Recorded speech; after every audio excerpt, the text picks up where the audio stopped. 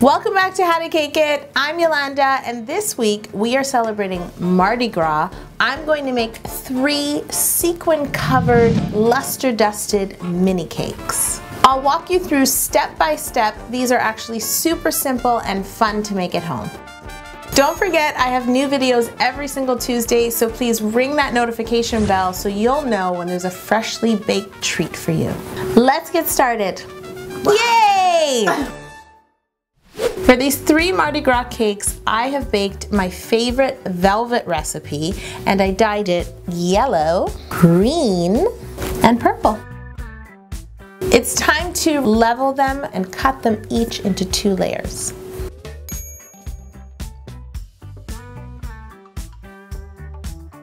When I slice into these cakes at the end, I just want to see gorgeous, vivid color. So let's remove the caramelization from the sides.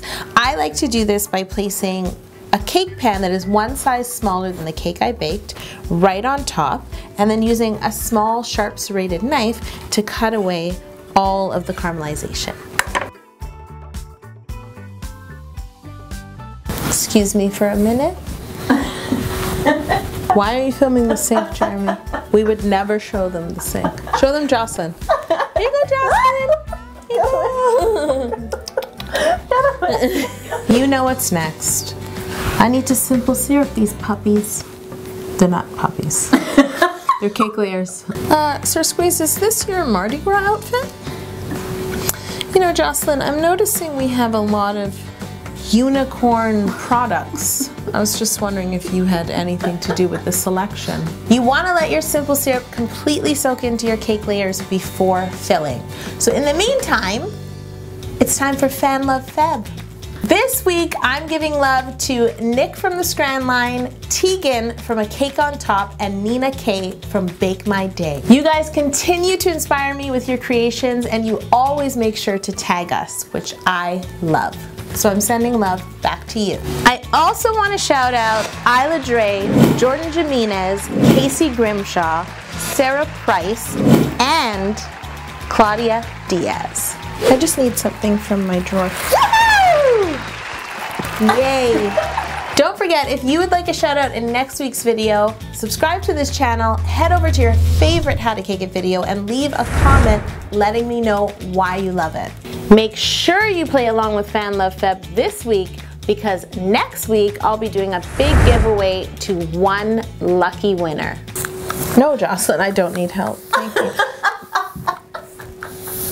Fill these cakes, I have one recipe of my cream cheese frosting. I use this filling in my cakearoni and cheese video where I make mini cakes that look like tiny pots of mac and cheese. So make sure to check out that video to get this recipe. And now I'm going to fill these cakes. This is perfect because velvet cakes go best with cream cheese frosting. I'm going to fill the two small layers and the two larger layers of each color of cake. In the end, I'll be left with six cakes, two that are yellow, two that are green, and two that are purple. I'm going to crumb coat these cakes in my Italian meringue buttercream. I have a video tutorial in which I show you how to make this buttercream. It's part of a playlist where I show you how to make all of my favorite recipes. The link is right up there. A little more angled. Like more. Here, Jocelyn? No. there you go. Here. Okay.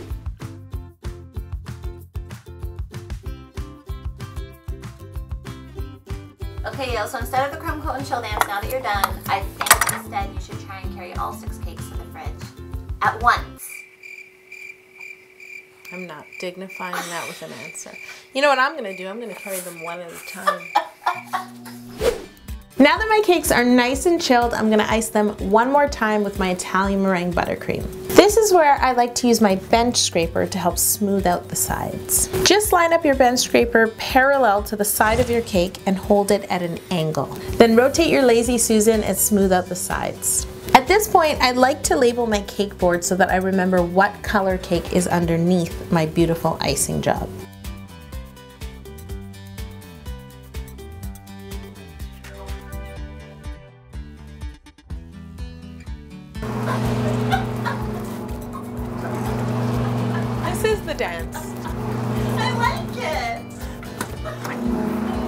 My cakes are iced and chilled. I'm gonna begin by covering my two yellow cakes with yellow fondant. I have my green fondant and purple fondant here. Make sure to keep the fondant you're not using at the moment covered in plastic and airtight. We don't want it to dry out and develop a skin. Before rolling out fondant, you always want to knead it well to knock out any air bubbles. You can always just rub a little bit of vegetable shortening right onto the palms of your hands just to keep it from sticking. See this big seam. You want to tuck all your seams underneath the fondant. We're going to roll it with this side down with all the seams and the smooth side up. Use your thumbs and your fingertips to press it out into a circle. And this will just help you roll your fondant more evenly. The first thing I'm gonna do is sprinkle some icing sugar. And then I rest my yellow fondant on top and begin to roll. When rolling a circle, I find it helpful to roll in all directions. If a nasty air bubble remains in your fondant, I'm gonna tell you what to do. I'm gonna use this. I bet you can't see this. it's a pin, here. I always like to use a pin that has like a big head. This way, if I drop it, or I lose it, I can always find it. Very important to be safe. You want to insert your pin on an angle into the air bubble slowly and then use your fingertip to push the air out of the hole you created with the pin. I've rolled this circle of fondant large enough to drape over my smallest yellow cake. I've rolled the fondant about an eighth of an inch thick. It's nice and thin to drape over a cake. It's not too thin that it will be see-through and break, but it's not too thick that it will be unpalatable. I like to pick up my rolled out fondant with a French rolling pin. I find it helpful because I don't have to touch the fondant too much. I don't get fingerprints in it and it's really nice for draping. So I drape it on. I like to use my fondant smoother to just smooth the top just for a moment. The first thing I like to do is use this part of my hand, I don't know what it's called, along my pinky, my palm, the side, the side pinky palm to first smooth sort of the top corner. And then I slowly use both hands to move down the sides of the cake, pressing the fondant in all along the sides. What you really are trying to do is push all of the air down and out underneath the fondant. Pom-pom in the view of the camera, okay? Jocelyn is wearing an obnoxiously big pom-pom. Just get it for a minute. Just get it for a minute. Can you see it? Now I'm going to cut away some of the excess fondant, not right at the crease, we're not ready for that yet. Just some of the outer fondant so that we have more room to use our fondant smoother. I'm using this fondant smoother to properly finish smoothing the fondant to the cake. Keep the smoother in one place and turn your cake around using your Lazy Susan. And you really just want to press the fondant onto the cake while pressing the base of the fondant down to the cake board. Before I cut away the excess fondant from the bottom, I like to use my fingertips and press that excess fondant right up to the cake because fondant has elasticity. So sometimes you think it's right to the bottom and then when you cut, it sort of bounces back. You don't want that. This time, hold your knife right against the cake and use the tip of the knife to cut away the excess fondant. A sharp knife is very important here. If your edges are really jagged, again, use the tip and just cut away any little straggly pieces of fondant. Okay, yay! I just inserted a yay. I'm not gonna say yay, I'm gonna go like this. you look so good, yellow number one. Come over here.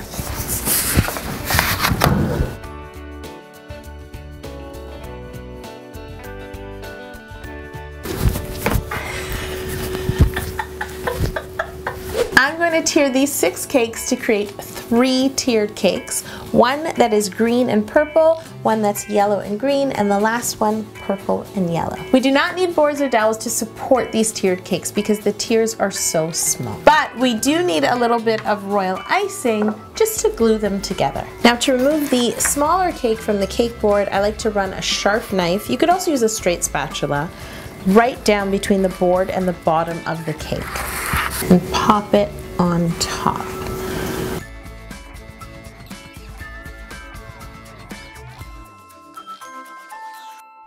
Now for each one of my cakes, I'm going to brush the entire surface with clear piping gel. Then I'm going to press on a healthy layer of confetti. These ones are stars, and these ones are traditional round confetti. Whenever I press something onto a cake, I like to do it over a big cake pan just because a lot of this stuff is gonna fall. Save your floors.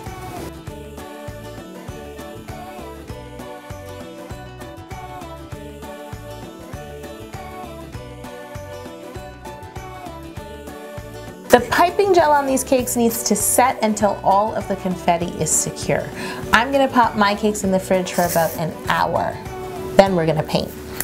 I'm painting these cakes with luster paint, which is just a mixture of luster dust and clear food grade alcohol, and I like to brush it on with a soft bristled brush. To mix my luster paint, I'm going to add my alcohol little by little to the luster dust. I'm going to use a dropper, you can use the cap of your bottle. In this case, I want to make quite a thick paint so it will coat all of my confetti. I want to paint each cake with the remaining color that's missing from the cake. On this cake, the bottom tier is yellow, the top tier is purple, so I'm going to paint it with a luster green.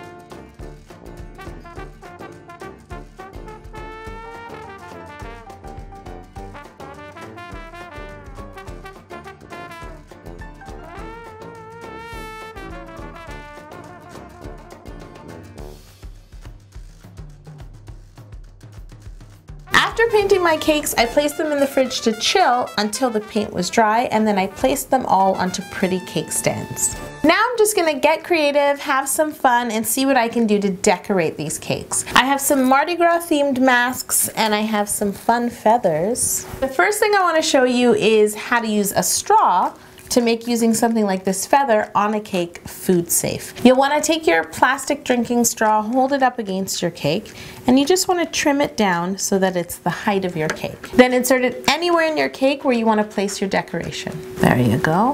What straw? By doing this, I can insert my feather securely into my cake. I got all of these things at a local party store and now I'm just gonna have fun decorating these cakes. This is a really simple fun thing that you can do at home yourself. Mardi Gras. Thanks for watching How to Cake It. I'm Yolanda. Please subscribe to this channel and take the time to hit the notification bell. It really means a lot. Don't forget, Fan Love Feb is still on, so remember to leave a comment on your favorite How to Cake It video using the hashtag FanLoveFeb and let us know why. Because one of you is gonna win an awesome giveaway next week.